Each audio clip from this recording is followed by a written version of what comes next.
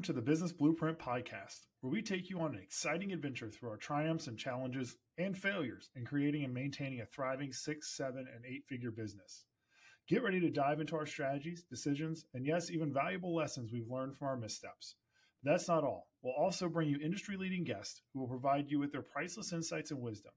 Stay tuned because the captivating journey of the Business Blueprint begins right now. Hi. I'm Charles Hatley, and this is the Business Blueprint, where each week we get together and we talk about things that we see happening around us, things that are occurring in our business that we just want to share with you. Or sometimes things that we're interested in and we, we may not know everything about, but we just want to get together and talk about. So today, Dan and I are going to talk about a little bit just bouncing back and forth about what we see happening in business, what kind of things that we see every day. And, you know, for me, maybe what kind of things annoy me that I that I see every day but you know, to get started, Dan, one of the questions that I, I, wanted to talk to you as we see all of this turmoil worldwide, and we see these these you know economic indicators that show that we should be heading to a recession, but we're not heading to a recession. What do you see as far as small businesses are concerned for 2024? I, that's a good question, and I, it depends on the on the service of the business, right? Mm-hmm. Because there's opportunities that are out there for companies to grow, but then there's also businesses that are just kind of I don't want to use the word stuck, but they're not necessarily thinking outside the box. And anytime that recession comes up or we're talking about just even a, a downturn in a market or a, potential uh, downturn in the in the company it all goes back to really just keeping your eye on the ball for your company what i mean by that is on the financials and I was just talking with a, a CPA uh, a few weeks ago. Uh, he, he, wrote a book, and and it's all about just forecasting and, and making sure that you're staying up with current trends and making sure that your company has enough cash to be able to to weather through some of these uh, hard times. And if you're talking about a recession, it's it's kind of a scary word to think about. And companies sometimes don't necessarily always think the bigger picture of next year. They're more focused on what's going on now. But if we have concerns on any type of downturn in, in any market, we need to first look inward and see, okay, where am I at with cash in, in the bank? Because it all starts there. That's what's going to help us weather through whatever storm it is, whether it's internal, external, or both. And a really a good rule of thumb, depending upon what growth you're projecting or the size of your company, you really want to have anywhere from 10 to 30% of cash in the bank of your, your revenue. Hmm. And that's just going to be based on what the goals of the, the company are. But as far as if we're looking into next year and we're thinking there's a recession, I would say right now for any company that's out there, regardless if you're small or large, look and, and see is there something that you can expand your services on? Is there something that maybe you're not offering that that others um, are that you could do better or something that you can do different. There's a, a book called The Blue Ocean Strategy. and It's all about just creating a market for yourself, right? It's not, I got to be the best and outbeat my competitors. It's, okay, what can I carve out that maybe is a niche or something I can do a little bit differently or even better that would put me ahead? And when we can think of other opportunities that are out there, that helps bring in that, that stream of revenue so you can weather any type of storm. Or if you, if you know, you're asking about a recession, let's look inward and see where am I at with staffing? Am I at a good place where I can weather this, or do I need to think bigger picture if there are going to be any potential layoffs? What's that going to look like once we get out of the recession and the ramp up period? So there's a lot of factors that really go in, but I, I would say it starts with let's see where we're at with the bank and how much cash we have in there, and then what what other opportunities are out there that we can try to take advantage of and capitalize on that can help weather through whatever type of issue or recession may be on the horizon? And I know that that was a huge question, right? You know, what do you see coming for 2024? And oh, by the way, there's a presidential election to throw in there as well. Uh, you know, I really like the blue ocean strategy for for many reasons, but one of the the quotes, or maybe not quote, but the sections of blue ocean strategy, they talk about commoditizing your services, and it's just a race to the bottom, right? Like you said, you have to look at the services you offer and, and think about your your clients' needs because even in a recession, there's going to be people that want to avail themselves of your services if you're offering something that that piques their interest. Um, and I was listening to the radio this morning on, on my drive into work, and they were talking about an auction that happened. And somebody paid like seven hundred and seventy thousand dollars for the piece of wood that was used in the Titanic that they floated on. Somebody paid five hundred thousand dollars for the Indiana Jones whip that was used in the movie. Somebody paid three hundred thousand dollars for the Bill Murray bowling ball that they used in um, the Bill Murray bowling movie. So people have money to spend. Uh, it's just, are you attracting them to spend the money w- with you? Uh, another thing that you brought up, which was really interesting, talking about staffing. You know, I, I read that the average raise this year was down. So from last year to this year, it went down to 3.9% total raise, including comp increase and cost of living adjustments. How do you put out of your mind that maybe there's going to be a recession coming and still give the team members that are you're working with a fair compensation increase? It starts with having open and honest discussion with your your team, and it, and it's from the beginning. And something that we're working on internally is the employee review process. And mm-hmm. it doesn't have to be so archaic to where it's just it's a form you fill out a rating or a letter, whatever your company is using, and then it goes back to the manager. They may or may not add comments to it. Sit down with the employee, and then you move on. It it should be a fluid situation in the sense that the review should be happening in one on ones as far as what's going on, what can I help you out, what do you need? Here's where we're at as far as uh, timelines for projects. Here are some deadlines. Here's what I think that's coming up. And then uh, monthly meetings with employees to really kind of look back as on the prior month what happened, and then quarterly meetings just to see, okay, are we on pace for our goals? Do we need to pivot? Do we need to change anything? And in and in these meetings, it's talking about just the company's progress and and even tie in the market because it's going to have an effect as far as what are you charging for your service, whether you need to increase your hourly rate or you need to increase the price of any type of commodity that you're selling or if you're not um, on pace for the revenue that you want what is it that we can do differently or better? What we've been discussing that blue ocean theory as far as what, what else can we offer? And so there really should just be conversations throughout the year. So when that comp review time does come it, it, you've had these open and honest discussions as far as here's where the company is here's where we really need to be here's maybe where we missed but yet we may have gained on this side. And just having those frank and open discussions as far as what an average uh, potential comp would look like. So in the employee's mind, they don't come in with unrealistic expectations because an employee is always going to want the, the most that they can get, whether it's you know double digit increase or even more. They're never going to be satisfied. But if you have frank discussions and and and you are really bringing them in and part of the process then it, it hopefully will uh, educate them a little bit more and and allow them to understand okay this is where we're at and and this is where i see that the national average would be and here's where i fit within there and here's where my company fits. So when it because those conversations are hard and it's uncomfortable for everybody. I've been doing reviews for myself and for our team members for a, a long time and and i still get uncomfortable about it because no one likes to talk about money. Everyone likes to receive money, but it's always hard for most people to ask for money, myself included. I'm the worst advocate for myself. But at the end of the day, it's eh, making sure that we have these frank discussions with our employees so they're not caught off guard. So they know that eh, we we have been thoughtful and methodical and we want to invest in our employees. And it doesn't always boil down to compensation too. One of the things I know that we're doing is really investing in our team members. And that's not just something that we say, it's really part of our values. We want to be able to invest in them to help them grow and hopefully grow within our company or within your company, if wh- whoever's listening says if it's a law firm or other type of business.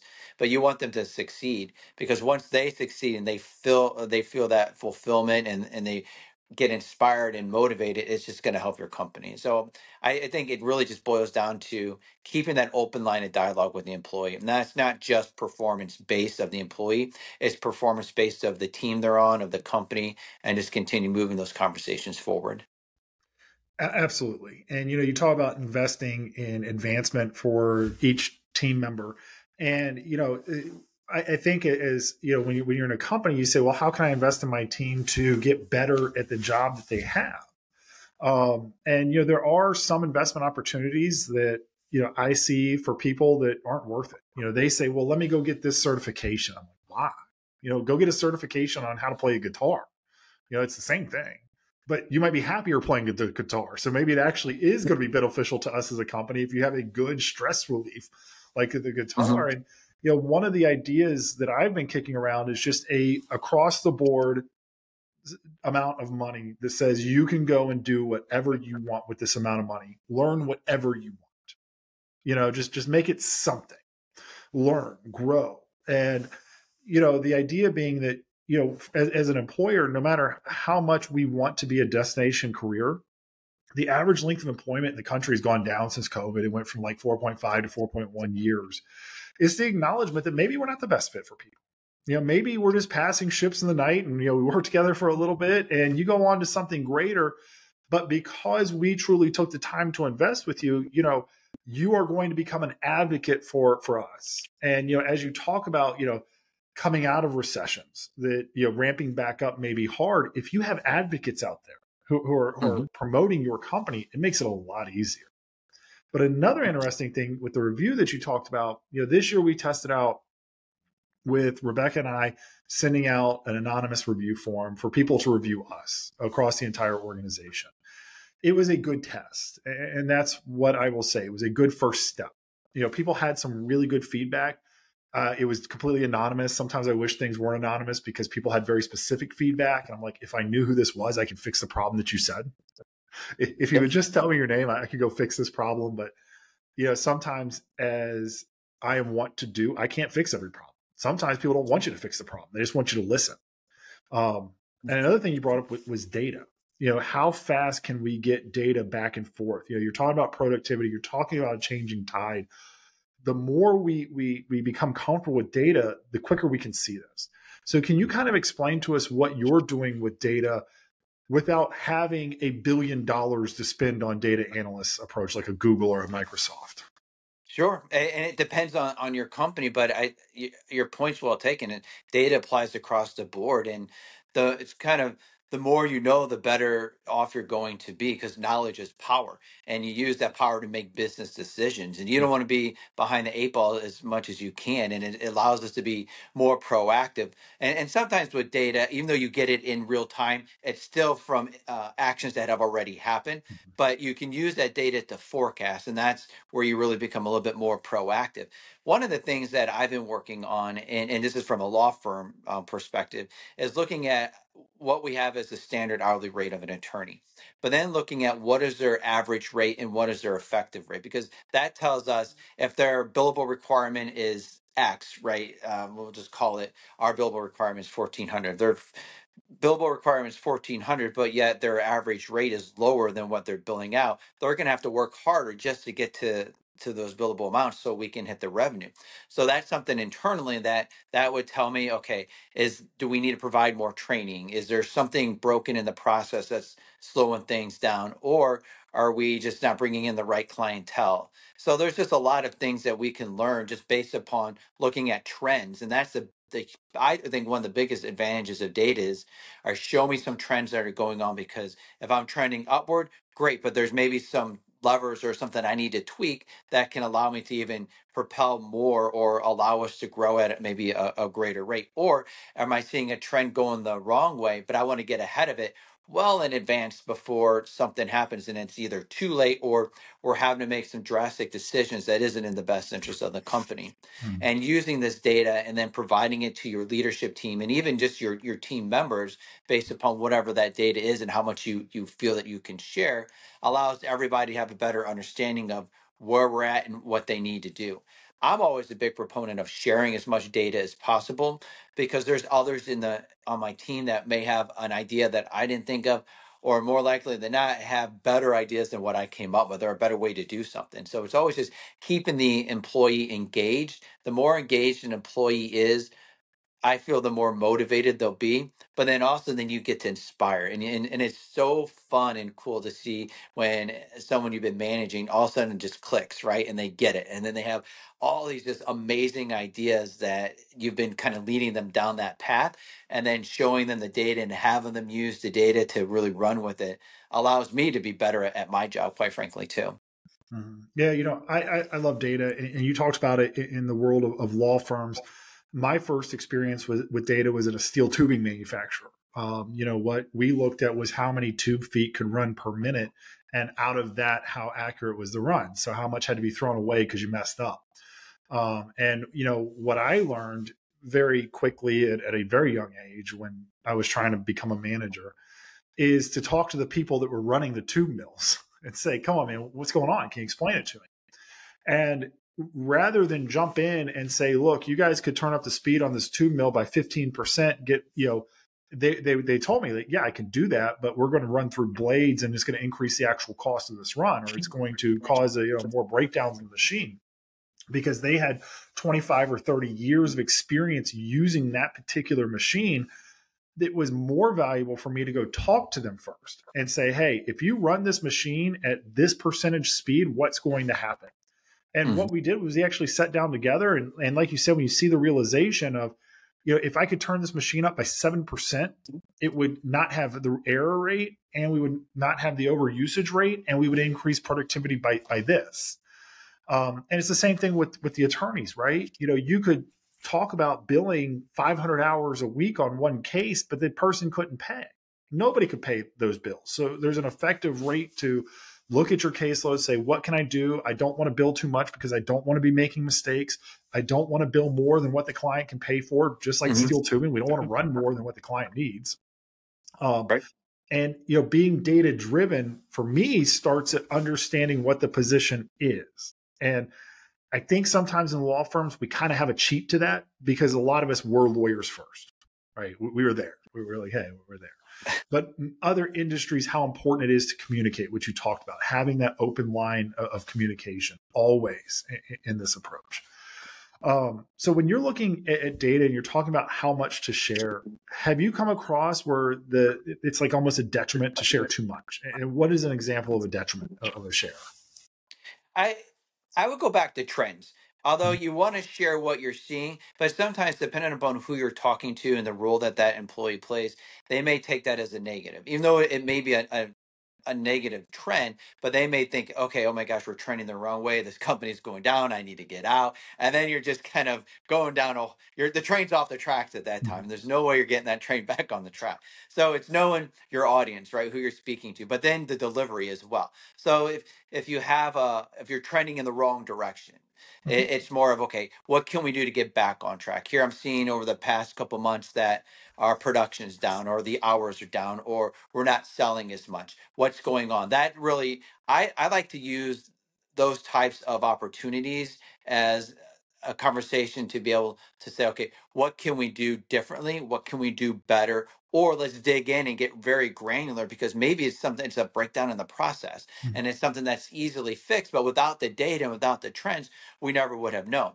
As much as I love and I'm a big fan of positive trends, sometimes I feel that leaders and companies and firms just ignore everything else because like oh we're moving in the right direction everything is is okay i'm always well that's great but what what's allowing us to continue to move that way what is something else that we can change to maybe uh, increase the hours or increase what we're selling or bring in more clients. So uh, even though you have training one way or training in a, in a better way it's always a good idea just to look and see what's allowing that or causing that to, to happen. And then maybe it is an easy fix, or maybe it's something that we need to look more internally to determine who do we need to bring on board? Do we need to hire another team member? Do we need to hire an, another uh, attorney if you're a law firm? Because you want to, it all goes back to taking the data, taking the trends, and then the conversations to allow us to be able to forecast whether you're hiring more salespeople, whether you're, you're hiring another attorney, because you want to look usually